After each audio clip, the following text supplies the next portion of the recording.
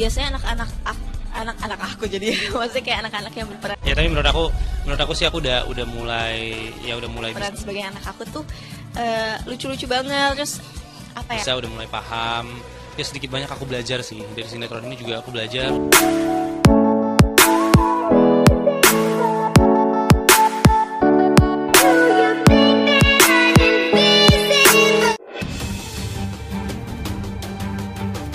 Assalamualaikum warahmatullahi wabarakatuh.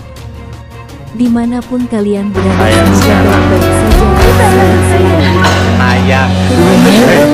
Bersama kami yang di mana setiap harinya kami akan menayangkan info-info terbaru dan menarik seputar artis kesayangan kalian ini. kayak interaktif Nah, buat teman-teman dan kalian semua. gitu.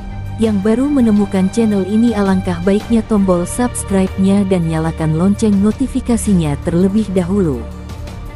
Ya tujuannya agar kalian semua enggak ketinggalan informasi terbaru dari channel ini.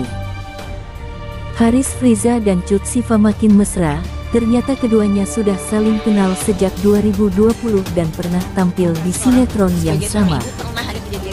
Kedekatan Haris cerita dan Cut Siva makin menjadi sorotan warganet tanah air. Eh, kayak gitu Ditambah lagi, keakraban Haris Friza dengan Cut Siva yang semula merupakan teman dekat, kini berbuah menjadi kemesraan yang tertangkap kamera hingga terungkap ke publik. Di media sosial, kemesraan Haris Friza dan Cut Siva sudah tersebar dan mengundang pertanyaan publik. Belum ada yang tahu secara pasti apakah Cut Siva dan Haris Friza sedang menjalin hubungan asmara atau sekadar bersahabat. misalnya udah bisa jalan cuman memang Pasalnya, baik itu Cut gitu Siva maupun Haris Friza, sama-sama belum ada yang menjelaskan perihal status hubungan mereka. Namun, beberapa waktu sebelum isu kemesraan ini, Cut Siva dan Haris Friza rupanya sempat berbincang-bincang di sebuah acara. Di kanal YouTube, Cut Siva menjadi host bersama Marianne Romantir. Pada saat berbincang dengan Haris Friza, rupanya ia dan Cut Siva menguak pertemuan sekaligus perkenalan pertama yang sempat terjadi pada 2020 silam. Keduanya juga mengenang masa-masa tampil di sinetron bersama. Selama perbincangan itu, Cut Siva dan Haris Friza membahas kembali momen awal mereka berkenalan yang rupanya terjadi sudah lebih dari tiga tahun lalu, tepatnya tiga tahun, yaitu pada 2020 silam. Aku kenal Haris Friza itu sudah lama banget, loh. Sudah sekitar berapa?